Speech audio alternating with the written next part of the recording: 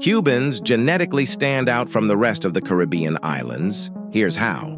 Just like other Hispanic Caribbean countries, Cubans are mainly a combination of three different populations, but where they differ is in their proportions and admixture levels. At 8%, the lowest genetic component of Cubans is Native Amerindian.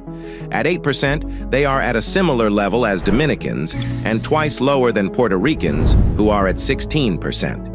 The next largest component of Cuban ancestry is Sub-Saharan African at 20%, a level that is slightly lower than Puerto Ricans and about half as that as Dominicans. Finally, at 72%, the largest component of Cuban ancestry is European, mainly from Canary Islander Spaniards, who themselves carry around 20% of North African admixture. Within that figure, there is also a minor trace of Middle Eastern admixture through Sephardic Jews, who may have migrated to Cuba.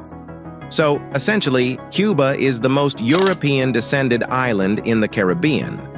Also, unlike in Puerto Rico and the Dominican Republic, the population is less so mixed throughout, so it's common for white Cubans to be more than 90% of European ancestry, and for black Cubans to also be of more than 80% of African ancestry.